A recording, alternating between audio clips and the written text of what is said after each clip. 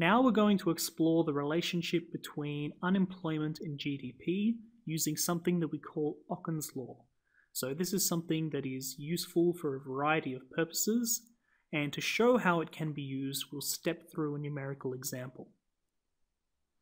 So Okun's law is given by this equation here.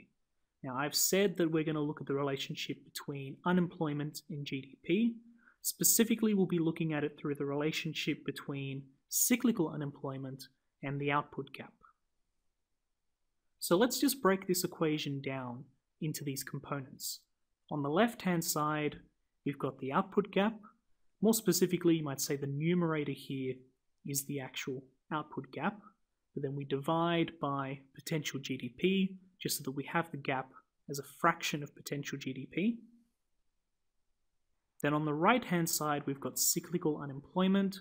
So this is just the difference between actual unemployment and the natural rate of unemployment, which is composed of frictional unemployment and structural unemployment.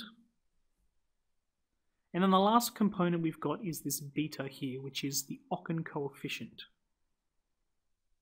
Quite simply, what this boils down to is that the output gap as a fraction of potential GDP is inversely proportional to cyclical unemployment. So see we've got that negative sign in there.